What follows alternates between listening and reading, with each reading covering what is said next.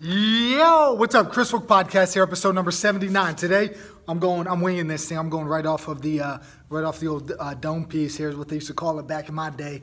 Um, basically, what we're going to be talking about is on parenting, right? This is a topic that I think about often.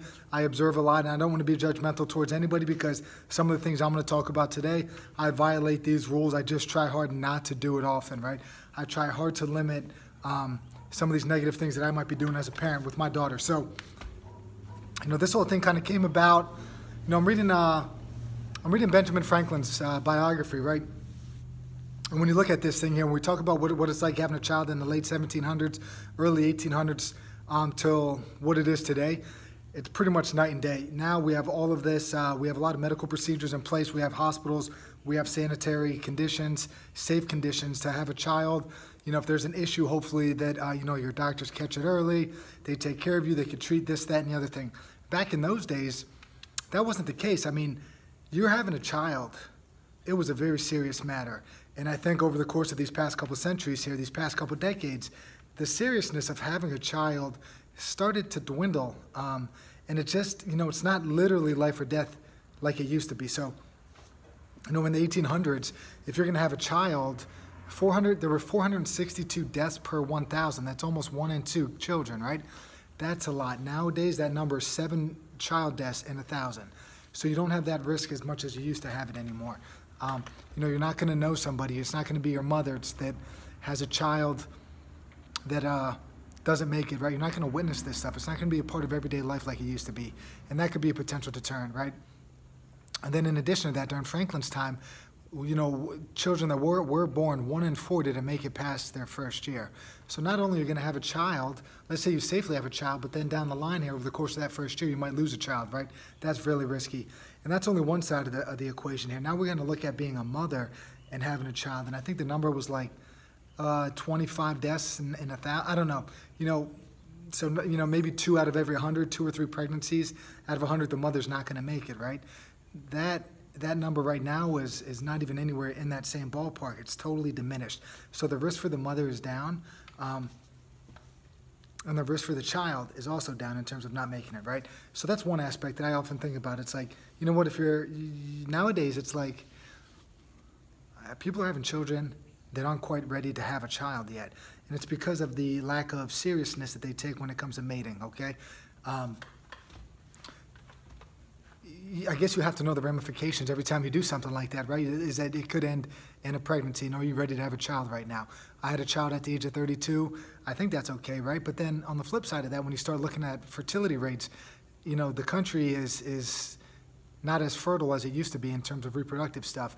And the older you get, the less fertile you are, right? So, you know, the ideal time is probably somewhere in your 20s, right? But then we're not even mature enough yet, man. It's like we're, we're not even grown yet to have a child, and yet we're going to have a child. Back in the day, I think my mom had two kids by the age of 21. That is nuts in my mind. To have two children at that young of age and to try to grow them, teach them in the best way that you can is a lot to ask for. You're going to wait until your 30s, and then you're running the risk of, you know, your reproductive system not being as, as uh, fertile or as abundant or whatever the hell the word you want to use is, right? So if you want to have a child, you got to be mature, you got to be ready, because this is the biggest thing, this is the most serious thing that you'll ever do in your life. So you know, we look at the uh, the lack of um, the lack of seriousness. I think when it comes with reproductive uh, mating, we'll call it. Um, you know that that that is thrown by the wayside now with you know people having a lot of different partners and you know somehow promiscuity is like a cool thing, especially with the dudes, and uh, it's not so cool with the female, but uh, that's starting to shift too a little bit here. So we're having children out of um, out of relationships, right? There's, there's not two parents that are staying together. That, that, that number's higher than it's ever been. So with that, I think it's important that if you do, and then, you know, if your plan is to have a child, right? You should have it with somebody that you're 100% confident that things are going to work out with, right? Um, to have a child is serious. So if you have a child and you decide maybe me and my partner here, we're not meant to be, it's not going to work out. You just really ran the risk of seriously complicating that little one's life and causing potential harm. Now, there's a lot of kids that come from single homes or uh, split parent duties and stuff like that that end up being totally fine and okay. but it is a challenge. And it's like if our goal is to make this world a better place, we need to kind of start with our own home and in our own house and make sure not only that your life's in order, but that your relationship's in order as a, as a partner and also as a parent. So as we go on with this now, it's like, all right, so you decide to have a child but you're not sure you got the right partner. You know, I talked to a psychologist over a year ago, and they were like, you know, you know, you people could raise a kid in different homes and this and that. The more I think about it, the more I realize that that's a scary, that's a big risk that I don't think I want to take. Um, you have a child with somebody, you got to make sure that it's the right person. Then you got to make sure that you're going to stay together with that person. I think you should do everything in your power to stay with them, and there might be some hiccups along the line. There might be some hiccups down the road, but just try to keep your child in mind and understand that our kid here is going to be better served if there's two parents together in a loving home, right? Not just two parents in a home that aren't present, two parents that are in a in a healthy relationship and they show love to each other and they show love to the kid and all that good stuff, right? And we'll get on to that a little bit down the line. So take mating serious, right? Uh, be smart about what you're doing because there's serious, serious ramifications if you have a child and you're not ready for it or you're not with, you know, the partner that, uh, you know, you're not going to be with your partner for long term, right? That's serious stuff. Um, be safe, be careful. Now, let's say you do have a child, right? Now we have to start thinking about you have a child, you're going to stay with that person, right? So now you got these different, uh, you know, over the past couple decades, things have changed now. You got two parents working. It's just kind of the nature of the beast now. Um, you need two incomes to run a household, or a woman decides, hey, I want to be a mother, but I also want to have a career. When we get to a situation like this, oftentimes somebody else ends up raising the child. And there was a great line in uh, the book No Country for Old Men by Cormac McCarthy that's like, so if you have a generation of people that the, their, their, um, their parents raised their child, right? So the grandparents are raising the kids. What happens when those parents become grandparents and then they have to raise their, their grandchildren, they never raised a child before because the grandparents raised their kids. They have zero experience raising a child.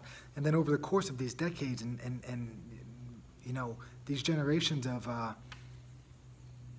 spawning, I guess, for lack of a better word, with each generation, you're going to have somebody that's less equipped to raise a child. And you get to this point here where uh, people are being raised in a house that is just not ideal um, as a parent, you know, you want to be present, not just physically present, but present in what everything that you're doing. And you got to fight the urge to check your phone when your kids they're telling you a story.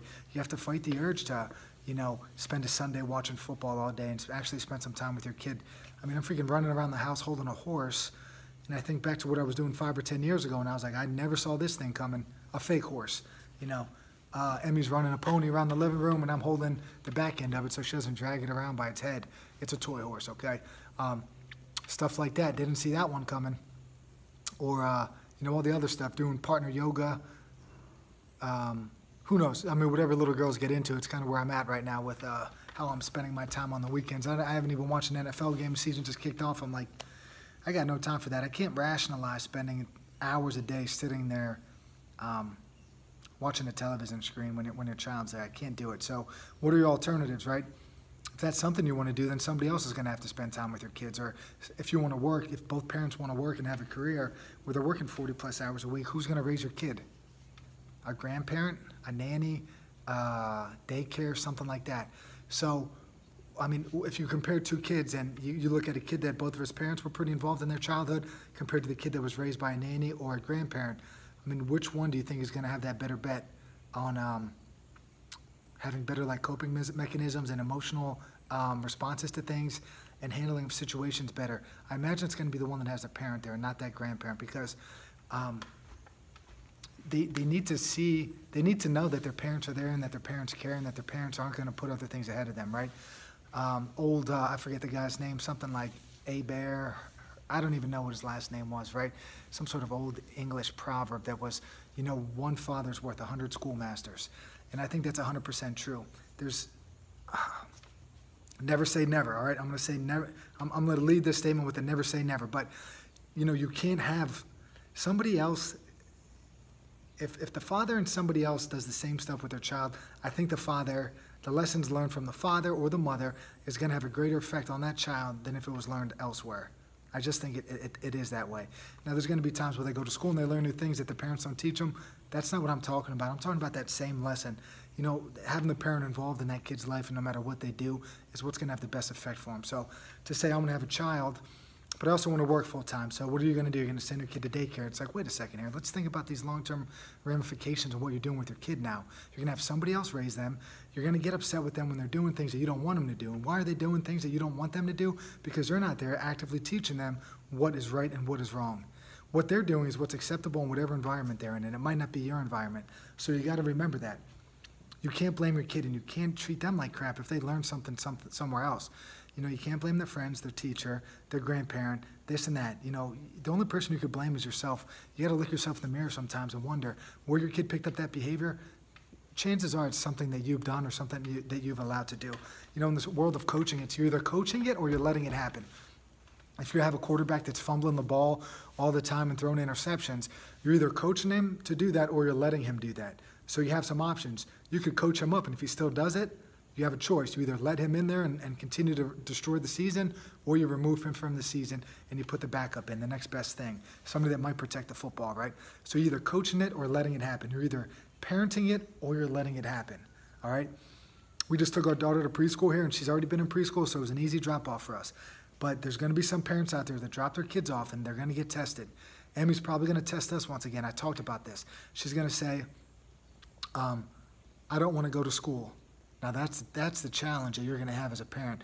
We're just going to have to be like, well, you know, I understand, but you, you know, we're going we go to school three days a week, and you get to go and see your friends, and you try to spin it in whatever way is going to work for you, right? But you want them to you want them to do it on their own. Then you want them to go on their own. You don't want to do it by giving them this, giving them that, bribing them to do certain things, right? you want to kind of kickstart that in, in, that intrinsic motivation to do things, right? That starts with how you parent your kid. If you give them extrinsic rewards all the time to go and do certain things, then that's what they're going to expect. You give your son a dollar to take out the trash, eventually he's going to want two dollars. That dollar ain't going to be enough anymore, and he's going to refuse to do work, or he's going to want a little bit of an upgrade, right? So you don't want them to do things for money. You don't want them to do things for treats. You don't want them to do things for adventure. You want them to do things because it's the right thing to do. Imagine teaching that type of stuff to a three year old. Never easy, but it's still the right thing to do. Um, sorry, I lost my train of thought there with, with your kids, right? So you're going to have a kid, raise your child, be there for your child, go to the doctor's appointments, go to the preschool. My dad, man, somehow he worked this swing shift growing up. He still made it to a, bunch of sporting events and tried to coach and stuff like that. My mom was always around to take care of us and take care of our friends and do whatever she needed to do to help friends out. But we always had kids around, kids helping somehow it worked out, man. My dad would work nights and somehow still be able to get to our games. And that's something that I remember now as a 35 year old, right? As one of those admirable things where it was easy to say, ah, I'm working nights, I can't make this, can't make that. He would switch shifts. Um, he would do whatever he could to get there, right? That's the important thing, especially when that kid's young, man. Try to be as involved as possible. I've read before, I mean, I tried to read a bunch because I had no clue when we were having a kid. And that was one of the big things that I, I picked up is that be at the appointments, go to everything you can be there for your kid. Let them know that it's important to you, right? And, and be involved with that type of stuff. Don't just pass it on to your, your significant other because that's not fair either. So that's one side of it all. And then, you know, serious responsibility having a child. Once you do have that child, you want to be there to raise them. You want to teach them the way. You don't want others to raise your child. Um, and as you get going here, how you respond to situations is going to dictate your kid's behavior, in my opinion, right? There's always going to be exceptions, and there's always going to be um, kids that'll do the opposite, right? You know, there's that old story where, say, you have two siblings and their dad's an alcoholic. One kid follows the father's direction and becomes an alcoholic because that's all he saw growing up. The other one, the other kid does the opposite because he doesn't want to end up like his dad. All right? So you're going to see, as a parent, you're going to model certain behavior, and your kid's either going to follow your path or they're going to choose the opposite. My idea would be this try to model just great behavior that is going to encourage them to follow your path. All right, it's not going to be smacking your son in the face if they talk back to you and then wondering why your kid has a bad attitude. Um, probably because your response to that situation was terrible. It's not going to be like, um, you know, you can't just do like good, wonderful things for everybody, and your kid's going to see that and then, you know, turn out to to think that whatever you're doing is wrong. Like you have to show them the way. You have to show them what it takes to be a, a like a successful person that um, works with other people, right? So you got to be willing to work with other people. You have to show them that it's okay to like get help in certain situations. That's what's part of being a group, a family, a community is. Um, you have to be open to all of these different things. You have to be open to stuff where you're not trash talking everybody behind their back, because your kid's gonna hear that. Your kid hears everything. She'll be in a, Emmy will be in another room. We're talking about something. She pops out like, "Huh? What did you say about that?" And we're like, "Oh man, whoops. I guess we got to be careful." Our friends told us a story today about, uh, you know, one of their siblings is uh, basically just in a new relationship. Somehow the kid just from hearsay just heard all about that stuff, right? Um, and asked a question about it that was totally like out of the blue, and they were just like, "What? How do you know that?" They freaking hear everything. So everything you do matters. Everything you do counts. Life is serious. Life, um, how you live your life is important because that kid's going to probably model whatever you're doing at some point in their life. They might not do it forever, but at some point they're going to see what their parents are doing and they're going to follow that path. Um, where else was I going there? Um, the relationship, right? So I'm a father, right? I, I and thought about this. I'm a little bit uh, not always as warm towards people, not always as uh, yeah. We'll just say warm, okay? And uh, so we don't. We had this thought, you know, that if I'm not as open to, you know, expressing um, appreciation or gratitude or love to other family members, that Emmy might see that and see that, oh man, dad's a little bit cold and turned off sometimes. Maybe that's the, the normal behavior. That's how we're supposed to act, right? So for me to uh, kind of see that and understand that, I got to kind of work towards trying to uh, be more appreciative, maybe give some hugs out more, maybe say thank you more. Um, maybe show my thanks in different ways, okay? So these are things that I kind of understand and try to try to realize that what I'm doing is gonna mold how she's gonna act here shortly, okay? So at the end of the day here, Chris Fluck on parenting, we had to sum it all up, having a child is serious. If you're gonna eh, find a mate that you care for, don't just be so loose with your morals and do something that you might later regret, okay? That's number one. Number two, raise your child. Do whatever you can, whatever is in your power to raise a child. You want to have a career, fine. 30 years down the line, you're gonna uh, wish that your kid, you're gonna wish for that time back that you you took away from your child because you had somebody else raise them for all of their first moments in life, just because you wanted an advancement in your career. Raise your kid. I don't think anybody's gonna say, "Man, I wish I would have worked more" when they're like 65 and ready to retire, right? You know, I just don't think that happens. Having a kid is serious. Raise your own child. The next step, your kids are going to model your behavior. They're going to challenge you. They're going to do whatever you do. You got to be a role model. You got to set the example for them. Take things serious. Take people's time serious. Be respectful to other people. Don't trash talk other people. Don't let them get away with things that you find to be um, not uh, not good for the team, so to speak. Okay. There's always going to be rules, and there's always going to be wiggle room with some rules, right? But you need to have some hardline things like no, we don't hit anybody, or no, don't talk to that person again like that ever. There's going to have to be some hard line things that you're going to have to deal with. Other than that, there could be a little bit of wiggle room and some flexibility, but identify what's important to you um, in terms of like, you know, creating a good character, building good character, being a good person, being a, a vital role in society, and then make sure you follow those always, right? You're either coaching it or you're letting it happen. The way your kid behaves, you're either teaching them some way or another that that, that behavior is acceptable, or you're just letting them get away with it so they think it's okay and they just keep doing it, right? What else is there to say here? Oh, show loved one, show, show your uh, support, show your love, caring, whatever. Whatever my daughter, whatever she sees from me, she's going to assume that that's normal. If I decide to go play golf and get drunk or sit around and watch football, she's going to think that that's okay behavior and, and from a mate, and then maybe look for that and emulate that as she gets older. So as a dad, as a father, I have a young girl. I have to show her. Hopefully, I show her, and I, we always have to make improvements in this area. But like, try to try to emulate what she should look for in a mate down the line, right? Try to be a caring person. Try to take care of your family. Try to be for be there for them. Try to listen. Try not to tell people what to do. Try to be open, like an open book, and show some love to everybody. And show her how, um, like a man should treat a woman. That type of stuff, right? That's what we need to do as parents, all right? Chris Fluck on parenting. Take my advice or leave it. Remember, I said in the beginning, I'll say it again a lot of the things I talked about are things that I'm currently working on. I violate some of these things, right? You know, you always want to talk about being present. Um, you know, mentally too, where you're like trying to respond to something in front of your kid, like, hey, uh, whatever, you're setting the schedule for the week and it's, typing, it's typing some messages and they're talking to you and you don't always hear them and I'm just like, crap, just put your damn phone down and listen. Or, you know, put your phone in a different room and just walk away from it and just be there because you don't have a lot of time. Like, and remember, nobody ever said 30 years down the road, I wish I would have worked more. I wish I would have spent more time away from my family. I wish I would have, uh, you know, worked 60 hours a week and did this and that, right? Nobody says that stuff. Everybody just wishes that they would have switched it and had more time for their kids. Um, spent more time with them, more vacations, more this, more that, okay? Hope you guys like this episode. Chris Fluck on parenting.